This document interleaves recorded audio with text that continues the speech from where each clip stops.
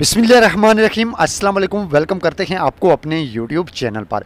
तो दोस्तों, आज की वीडियो में हम बात करेंगे, सबसे पहले आप लोगों को पता ही होगा कि हमारी फ़्लाइट्स बहाल हो चुकी हैं, लेकिन यहाँ पे हम बात करेंगे कि सऊदी अरब में अब कौन कौन आ सकता है, या फिर न्यू जो वीज़ा होल्डर हैं, उनके लिए क्या न्यू अपडेट है, जो अभी सऊदी अरब में इंटर होना चाहते हैं, फ़र्स्ट टाइम, उनके लिए क्या अपडेट है, उस पर भी हम बात करेंगे। तो सबसे पहले अगर हम बात की जाए यहाँ पर वीज़ा होल्डर के मतलब जो ओल्ड यहाँ पर वर्कर हैं, उनके लिए तो ये अपडेट है कि जिन्होंने यहाँ से वैक्सीन के दो डोज लिए थे। वैक्सीनेशन के बाद मतलब जो सऊदी अरब से वैक्सी वैक्सीनेशन करवाने के बाद पाकिस्तान में इंटर हुए हैं, वो दोबारा आ सकते हैं। उनके लिए कोई भी दिक्कत नहीं है। लेकिन लेकिन अगर बात की जाए यहाँ पे न्यू वर्कर की मतलब जो फ़र्स्ट टाइम सऊदी अरब में आना चाहता है, उसके लिए अपडेट की अगर बात की जाए तो यहाँ पे सऊदी अरब की तरफ़ से फ़िलहाल उनके लिए यहाँ अभी तक कोई भी अपडेट नहीं आई कि वो सऊदी अरब में आ सकते हैं और कैसे आ सकते हैं। मिलते हैं नेक्स्ट वीडियो में, तब तक बाय अल्लाह।